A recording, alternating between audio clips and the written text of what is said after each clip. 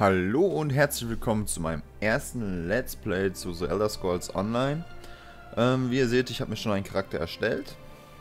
Und zwar Black Piccolina. Ähm, ich werde jetzt erstmal eine andere Rasse spielen wie, als wie im Release. Und zwar werde ich das Volk spielen, das Altmeri dom dominieren. Und äh, in dem Release werde ich auf jeden Fall mit äh, meiner Gilde, also mit Dex auch vor allen Dingen zusammen, den Ebenerzpakt spielen. Und damit ihr davon noch nicht so viel seht, damit das für euch dann was Neues ist, haben wir uns erstmal überlegt, dass wir das Altmeri-Domänien spielen, um euch einmal auch eine andere Rasse zu zeigen, wie, wie die so sich verhalten, wie das halt so abgeht und so weiter und so fort. Wie ihr seht, ich habe mir schon einen Charakter erstellt, man kann hier ziemlich viele Sachen wählen. Man kann hier zum Beispiel Dragon Knights oder halt hier, äh, weiß nicht, wie, wie nennt sich das? So Cercer, das ist dann halt diese Art Magier, Beschwörungsmagier oder sonst irgendwas. Nightblade ist dann eher so diese Diebesklasse. Dann gibt es noch Templer, die sind eher fürs Heilen da. Und äh, ja, es gibt halt wieder, oder halt Dragon Knight, die sind halt diese Krieger und sowas alles. Es gibt halt verschiedene Unterkategorien von den Klassen und man sollte schon von Anfang an so ein bisschen wissen, was man machen will. Ich habe zum Beispiel jetzt die Hochelfen genommen, weil ich euch erstmal einen Zerstörungsmagier zeigen möchte. Und wenn das Release dann äh, endlich raus ist, werde ich auf jeden Fall äh, Magier spielen und der Dex, der wird äh, einen Tank spielen. Damit wir auch nachher nicht so viele Wartezeiten haben, zum Beispiel bei Inis und so weiter, damit wir euch immer schön zeigen können, ähm, wie das alles funktioniert und und und. Ähm, was wir noch geplant haben, sind auf jeden Fall Tutorials gegen, für Bosskämpfe und und und. Jetzt muss ich erstmal wieder umstellen hier. Nicht, dass ich jetzt gleich aus Versehen den Krieger anfange. So, ich starte schon mal das Spiel. Hier kann man auch, was ich hier noch zeigen kann, man kann alles mögliche einstellen. Die Mundgröße, die Ohren, all möglichen Zeugs, Augenfarbe bis hin zur Stirnform, Höhe, Alter. Man kann sogar das Alter bestimmen, markante Merkmale. Das sind dann halt so Namen oder andere Accessoires, die dann im Gesicht auftauchen, bis hin zu Tattoos. Die Stimmen kann man wählen. Hier kann man dann auswählen, wie die dann aussehen sollen. Eher kantig, sanft oder heroisch. Ähm, ja, ich werde jetzt erstmal hier starten, damit wir schon mal ins Spiel reinkommen. So, ähm, wir haben auf jeden Fall viel geplant. Wir wollen halt auch Tutorials rausbringen zu den Bosskämpfen. Wir wollen äh, Klassenguides äh, erstellen, reinsetzen. Das wird also ein richtiges Großprojekt von uns. Deswegen würde es sich auf jeden Fall lohnen, wenn ihr uns weiterhin verfolgt, was das angeht. So, und da sind wir auch schon in der Welt von Elder Scrolls Online. Wie man halt sehen kann, man kann von außen äh, auf seinen Charakter gucken oder halt in der Ich-Perspektive. Ich finde die Ich-Perspektive natürlich schon ziemlich cool, weil man kann hier dann schön rumlaufen und so, da taucht schon der Prophet auf. Ich werde natürlich nicht alles vorlesen. Das Gute hier ist natürlich, äh, dass sehr, sehr viel Sprachausgabe existiert. Und jetzt sprechen wir einfach mal den Propheten an. So, ganz langsam. Ihr habt eine echte Tortur hinter euch. Nehmt euch einen Augenblick Zeit, um euch zu sammeln. So, was geschieht hier? Ja, ich kenne das alles hier schon. Ich werde das mal ein bisschen langsamer machen, damit ihr euch das durchlesen könnt. Und äh, da könnt ihr euch also selber entscheiden, ob ihr das dann lesen wollt oder nicht. Dann könnt ihr einfach auf Start, äh, auf Pause drücken. So, jetzt sollen wir natürlich die Zelle verlassen. Das werde ich natürlich jetzt tun. So, jetzt werden wir hier befreit. Ich werde auch ein bisschen so auf Skillsystem eingehen. Ich werde auch nur die erste Folge alleine spielen. Danach werde ich wieder mit Dex zusammenspielen. Das haben wir uns halt vorgenommen. Und wir werden versuchen, euch bis zum Release alle, also montags, mittwochs und freitags wird auf jeden Fall eine neue Folge von uns rauskommen. Äh, ich weiß, wir haben uns, was das angeht, viel vorgenommen, aber das ist halt, äh, das wollen wir euch halt schon bieten. Und beim Release geht es dann halt richtig los. Da wird halt dauerhaft auch äh, was erscheinen von uns. So, jetzt müssen wir mit den ganzen Leuten ein bisschen flüchten. Ich laufe mal ein bisschen schneller. So. Jetzt sind wir hier. Das sind übrigens alles richtige Spieler. Das sind nicht irgendwelche NPCs oder so. Jetzt muss man sich hier eine Waffe wählen. So, ähm... So, Froststab. Was haben wir hier? Streitkolben. Hier muss man sich halt schon relativ früh entscheiden, was man nehmen will. Herstellungsstab, das wäre zum Beispiel für einen Heiler. Äh, zwei, was war, was war das? Zweihändiger Streitkolben. Äh, Schwert und Schild, das wäre was für einen Tank. Bogen, was für einen Jäger. Hier haben wir die Zwillingsäxte. Bogen. So, für mich wäre halt dieser Froststab. Den nehmen wir jetzt auch direkt mal. So, er alles nehmen. Ja, möchten wir gerne. Jetzt können wir mit I das Inventar aufrufen. Und da wählen wir natürlich direkt den Stab. Und drücken auf Ausrüsten. So. Abgeschlossen. Alles klar. Jetzt können wir natürlich hier mit dem Stab schon mal schießen. Wenn man lange gedrückt hält, kann man Zauber ausführen. Mit der rechten Maustaste kann man auch blocken. Das heißt, wenn uns Zauber entgegengeschmissen werden oder sonst irgendwas, können wir da auch viel mitmachen. So, was will der von uns? Bleibt jetzt nicht stehen, geht weiter. Es sieht na, noch mehr, äh, es sind noch mehr Wachen auf dem Weg. Alles klar. Was macht ihr draußen? Ja, ich, wie gesagt, ich klicke mich jetzt hier durch, weil wenn ich das jetzt alles hier noch äh, durchlesen müsste, dann würde die Folge ziemlich lang werden und ich will natürlich auch mit dem Dex zusammen halt spielen. Außerdem soll die erste Folge erstmal nicht so lang sein, weil ich will euch erstmal einen kleinen Vorgeschmack geben. So, da kommt auch schon unser erster Gegner.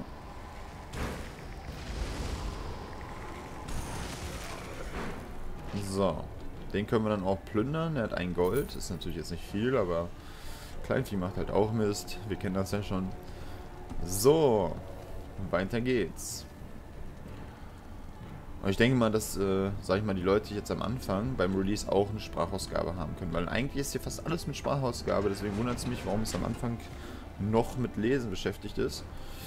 Äh, dass man es selber lesen muss. So, wir taumeln so ein bisschen um den rum. Ich war natürlich schon bei einigen Betas jetzt dabei. Jetzt haben wir einen Levelausstieg gehabt. So, dann zeige ich euch das mal eben. Nee. Ähm, ich rufe dann einfach mal das Inventar auf. Ihr könnt das ja auch einzeln machen. Hier haben wir jetzt den Charakter. Hier kann man sich jetzt darauf spezialisieren, was man denn haben will. Einmal hier auf äh, Medica, das ist halt, halt das für die Zauber. Medica. Äh, das Leben erhöht natürlich die, Energie, äh, die Lebens-, die HP hier haben wir natürlich dann auch noch die Ausdauer, die dann halt wahrscheinlich für Jäger oder für andere halt von Belang ist. Für mich ist natürlich jetzt nur die Zauberstärke wichtig. Da packen wir jetzt einen Punkt drauf und jetzt haben wir die maximale Medica um 10 Punkte erhöht. Ist für uns sehr wichtig. Äh, wichtig ist, hier unten muss man jetzt auf E drücken, damit er den Punkt auch übernimmt. So, jetzt geht es weiter. Jetzt haben wir hier die Fertigkeitspunkte. Das heißt, wir können nochmal äh, die Sache spezialisieren. Das heißt hier die Klasse Dark, Ma Dark, Dark Magic haben wir jetzt hier zum Beispiel. Ähm, da können wir jetzt natürlich auch noch wählen. Hier werden natürlich noch viele äh, Fertigkeiten freigeschaltet. Plus, wenn man äh, die Fertigkeiten benutzt, erweitern die sich weiter und man kann sie nachher noch spezialisieren. So, jetzt gucke ich mir mal hier an. Das ist jetzt Kristallscherbe. Ähm, verursacht 38 Magieschaden und schlägt den Feind zwei Sekunden lang nieder. Das ist natürlich für den Anfang schon nicht schlecht. Allerdings kann man hier jetzt auch seine Waffen spezialisieren. Jetzt hat man hier natürlich den Zerstörungsstab. Da hat man natürlich auch noch verschiedene Sachen. Äh, ihr verursacht 14 Magieschaden. Feuerberührung stößt euer Ziel zurück. Frostberührung lässt es einfrieren und Blitzberührung verwirrt es. Das ist quasi noch ein extra Effekt, der euer Stab halt ausübt. Äh, könnte man am Anfang natürlich gut wählen. Aber ich gucke gleich mal noch was anderes. Bei Rüstung kann man natürlich jetzt auch wählen. Leichte, mittel und schwere Rüstung. Ich denke mal, als Magier hat man eher leichte Rüstung an. Dann gibt es noch äh, für die Völker selber äh, Spezialisierung. Hier zum Beispiel Zerstörungsgeschick. Erhöht die Erfahrungsgewinn im Umgang mit Zerstörungsstäben um 15%. Ne? Also da fängt das schon an, wenn das dann spezialisiert ist. Wenn man jetzt einen Stab in der Hand hält, äh, Zerstörungsmagier, da kriegt man natürlich 15% mehr Erfahrung. Und das macht sich natürlich jetzt auch beim Leveln bemerkbar.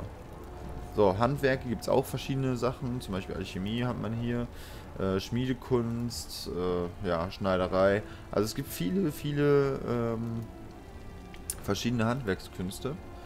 So, ich werde jetzt aber erstmal hier bei Zerstörung. Was haben wir hier nochmal? Was ist das? Instabile Begleiter. Achso, das ist halt für, für diese Beschwörungsmagier. Das will ich jetzt nicht machen. Ich will mich jetzt komplett auf äh, Zerstörungsmagie spezialisieren. Deswegen kaufen wir den jetzt auch quasi mehr oder weniger. Wir haben jetzt einen Punkt bekommen. Hier oben steht auch immer wie viele. Diese Himmelsscherben, die kann man in der ganzen Welt finden. Und wenn man drei von diesen Himmelsscherben hat, kriegt man halt auch einen Fertigkeitspunkt dazu. So, jetzt haben wir hier diese Fertigkeit ausgewählt. Ihr seht, jetzt haben wir hier rechts einen Skillbalken, der sich jetzt mit, äh, nachträglich noch füllen wird. Ähm, ihr seht jetzt, wenn ihr euch jetzt fragt, wie kann man das jetzt machen? C, Levelaufstieg. Achso, ja, okay. Mit C kann man jetzt da drauf drücken. Äh, warum ist unten jetzt keine Zauberleiste? Die taucht erst auf, wenn man sich auch im Kampf befindet. Was ich natürlich ziemlich cool finde. So, Ihr habt mehr Fleisch an den Knochen als die meisten armen Schweine hier. Um, äh, und wie ich sehe, habt ihr euch auch schon bewaffnet. Gut. Hoffentlich steckt ihr noch etwas Kampfmut in euch. Ihr werdet ihn brauchen. So, wer seid ihr? Ja. Ja. Ja. Ja, wie gesagt, es ist jetzt ziemlich viel zu lesen am Anfang. Da kann sich jeder, ich will euch nicht zu viel von der Story erstmal verraten, das sollt ihr alles selber spielen. Deswegen, äh, werde ich das erstmal so ein bisschen hier äh, wegklicken. So, lebt wohl. So, jetzt haben wir den Auftrag gekriegt, sie verfolgt uns jetzt, glaube ich. Genau, sie läuft uns jetzt hinterher. Und wir müssen jetzt hier aus dem Kerker halt raus. Ist halt ziemlich lustig gemacht. So, gehen wir mal hier durchs Tor. So. Da steht sie wieder. Wir gehen weiter. Folgt sie uns noch? Ja, super. Aber wir gehen jetzt hier hoch.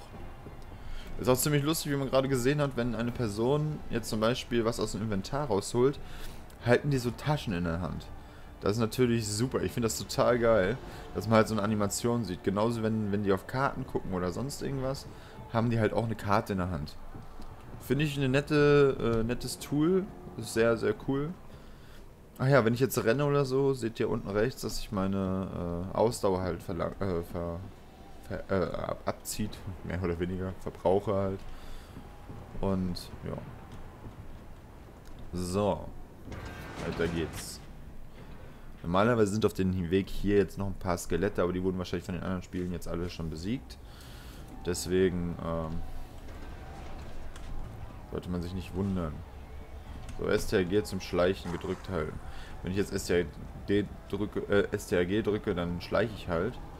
Ist es aber nicht so wichtig, weil ähm, wir sind hier sowieso, das was hier rumläuft, ist nicht wirklich stark und außerdem haben wir jetzt noch einen Verbündeten an der Seite. Ich kann euch das mal zeigen.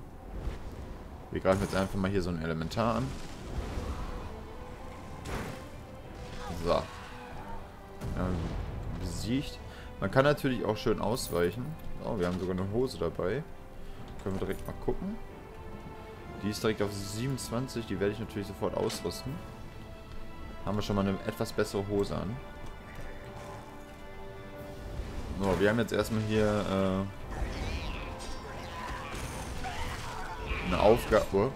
Na, wo bist du? Da bist du. So. Mit R kann man immer direkt alles nehmen. So, wir sollen jetzt hier hoch und den Wächter vernichten. So. Da ist noch ein Inventar.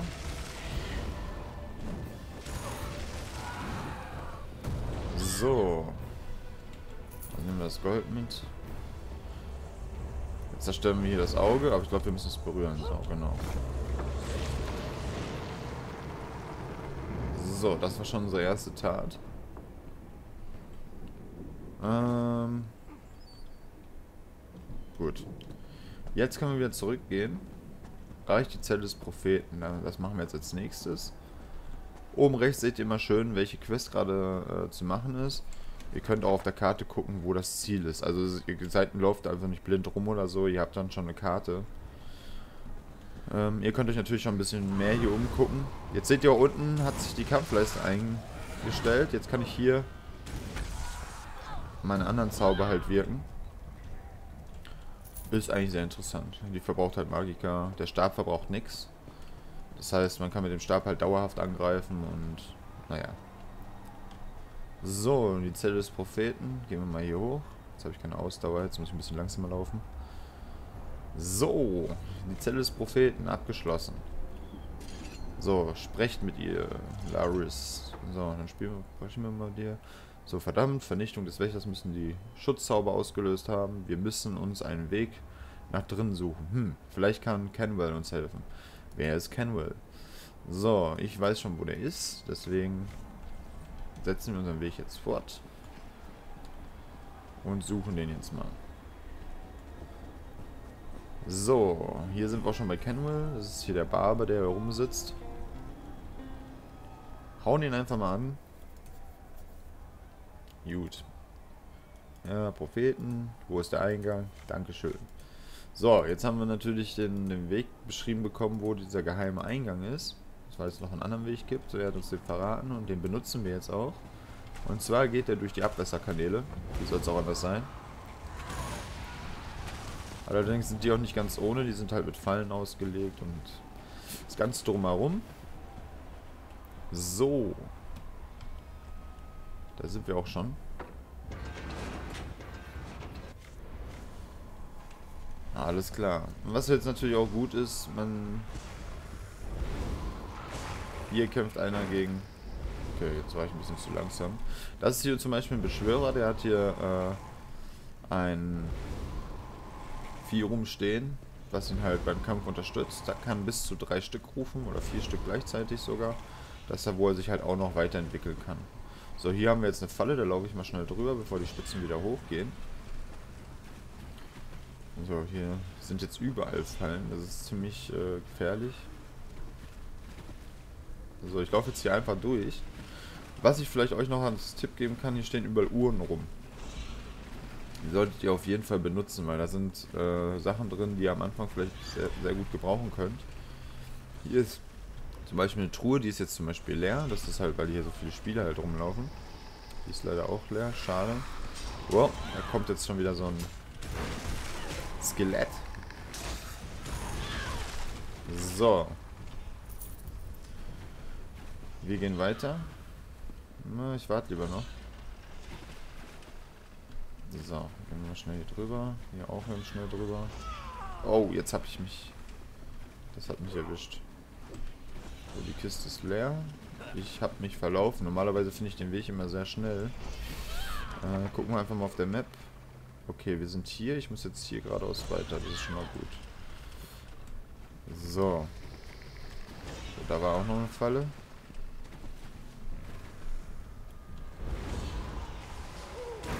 Ja, man sieht immer auf dem, auf dem Boden im Wirkungsbereich, wo die jetzt gerade zum Beispiel hinschießen oder sonst irgendwas machen. Deswegen sollte man da auf jeden Fall aufpassen. So, mal gucken, ob da noch eine Truhe ist. Jawohl, hier ist eine Truhe. Die können wir öffnen. Hier haben wir jetzt auch einen Dietrich drin. Und halt ein bisschen Kohle. Das ist nicht schlecht. Die Dietrich können wir gut gebrauchen. So, ich laufe jetzt hier weiter. Ähm, da vorne müssen wir jetzt... Oha, jetzt habe ich nicht aufgepasst. Ja, das hat übel Schaden verursacht. Und war, glaube ich, eine kleine Vergiftung, weil ich habe so einen kleinen... Naja, okay.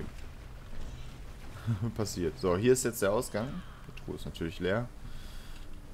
Ich kletter jetzt die Treppen hoch. So. Hier oben sind jetzt auch verdammt viele Behälter die man hier öffnen kann. Normalerweise sind die zu. Also ich weiß nicht, wie das genau berechnet wird. Also ich hatte es jetzt zum Beispiel mal, dass sie halt zu sind, dann hatte ich es mal, dass sie offen sind. Das ist also quasi willkürlich. Ähm, ich denke mal, es hat so einen Zufallsgenerator oder so. Äh, ein Dietrich habe ich. Vielleicht finde ich ja noch eine Truhe, die ich dann benutzen kann. Und dann gucken wir mal nach. So, was wollt ihr? Jetzt müssen wir dabei helfen, die Tore zu öffnen. Also wie gesagt, man muss ja ein bisschen schreiben, äh, ein bisschen lesen und so weiter. Aber das ist nicht wirklich viel. Hält sich alles noch in Grenzen. So, wir müssen jetzt hier diese Kristalle aktivieren, damit wir den Propheten da drin äh, befreien können. Wie ihr sehen könnt, in der Mitte ist der Prophet eingeschlossen im Kerker. So. Ja, hier sind die leider schon alle leer, sonst hätte ich euch das mal gezeigt. Da es so Uhren, kann man halt auch öffnen, und schiebt man den Deckel zur Seite. Deswegen sehe ich auch, dass die schon leer sind. So, jetzt haben wir beide aktiviert. Jetzt gehen wir mal wieder zurück. So, sie macht jetzt die den Beschwörungsritual und dann können wir schön bei zugucken, wie sie den Propheten jetzt befreit. Gib alles. Also wie gesagt, ich, ich freue mich schon tierisch auf das Release. So, hier ist der Prophet, der, sie hat jetzt mit ihm quasi einen Austausch gemacht, dafür hat sie seinen Platz eingenommen. So. Ich klicke mich mal wieder hier durch. Wie gesagt, ihr könnt dann auf Pause stellen, könnt euch das durchlesen, falls ihr schon Interesse habt. Ja, ich finde das nicht so lustig, sie schreit hier rum.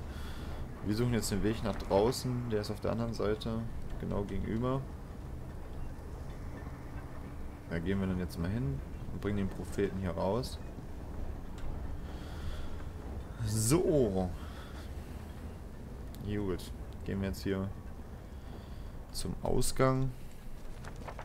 Der Anfang hier dürfte übrigens bei jeder Klasse gleich sein, weil ich habe jetzt schon, äh, das jetzt, normalerweise spiele ich ja das Ebenherzpakt und da ist genau der gleiche Anfang. Danach hat jeder, jede Rasse halt einen anderen Startpunkt, ne? Die sind quasi immer gegeneinander. So, hier in dem... Oh. Okay. So, jetzt kommt glaube ich auch unser erster Bossfight.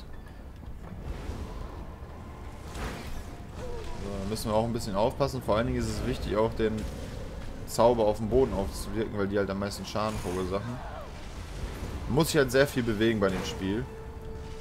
Ist halt wichtig, nur wir haben jetzt einen Heiler dabei, das ist natürlich jetzt schon ziemlich gut für uns.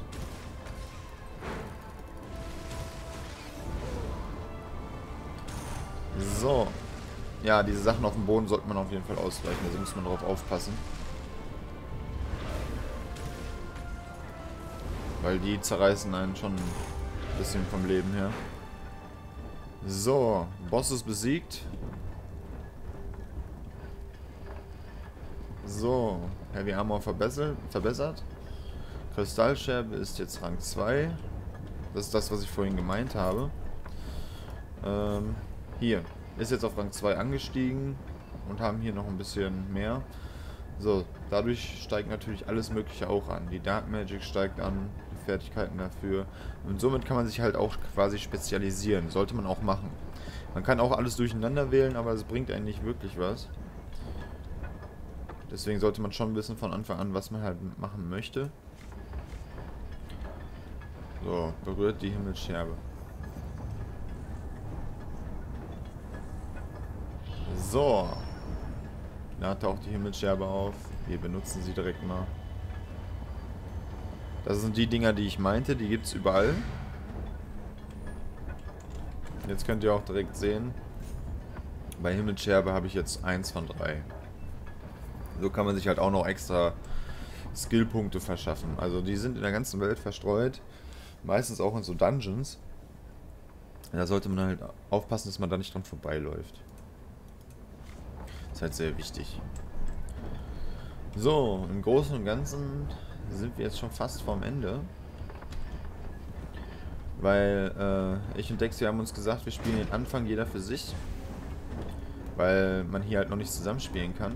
Und hiernach werden wir auf jeden Fall zusammen questen. Dex hat, glaube ich, einen Hunter gewählt. Den wird er dann erstmal spielen bis zum Release. Wie gesagt, beim Release werden, wird er einen Tank spielen, nicht einen Heiler. Damit ihr auch mal aus verschiedenen Perspektiven sehen könnt, wie das Spiel zu spielen und wie man das Spiel spielt, mehr oder weniger. So. Soweit, so gut.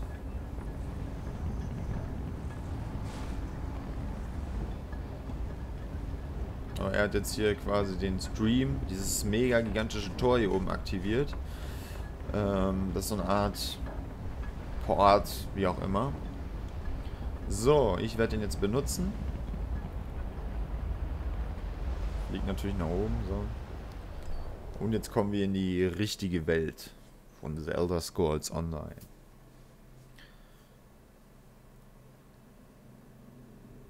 Wie gesagt, also mir macht das Spiel auch mega mäßig viel Spaß. Muss ich echt mal dazu sagen. Äh, wir haben schon einen, also ich und Dex haben schon einen Charakter, der schon auf Level 17 ist, mit dem man auch schon durch die Dungeons rennen kann. So, hier sind wir jetzt in unserem Startgebiet. Hier sieht man zum Beispiel schon schön einen, der gerade sich irgendwas notiert. Ach nee, das ist hier ein NPC, schade. Ich dachte, es wäre jetzt eine, ein Spieler gewesen. So, das ist jetzt quasi das Startgebiet. Oh, da ist der Prophet. So, den werde ich jetzt aber noch nicht ansprechen, weil wir haben gesagt, wir warten darauf. Der verschwindet auch. Also der geht nur, wenn man da auch wirklich dann in die Nähe geht, taucht er auf. Ziemlich cool gemacht. So, das war es jetzt erstmal von mir. Ich hoffe, es hat euch gefallen. Es war die erste Folge zu The Elder Scrolls Online. Der Start unseres Langzeitprojektes. Ich hoffe, ihr habt Spaß dran. Äh, wie gesagt, verfolgt uns weiter. Es kommen noch Tutorials und allen möglichen anderen Kram. Alles, was wir euch anbieten können, werden wir euch anbieten. Und wenn ihr vielleicht auch Interesse habt, unserer Gilde beizutreten, dann meldet euch bei uns. Schreibt in die Kommentare. Ihr könnt uns auch kontaktieren über YouTube. Wir, werden uns, wir würden uns freuen, von euch zu hören. Wir laden euch natürlich in unsere Gilde dann halt ein. Ähm, ja, ich freue mich drauf. Wir sehen uns beim nächsten Mal. Euer Black Piccolo. Haut rein. Tschüss.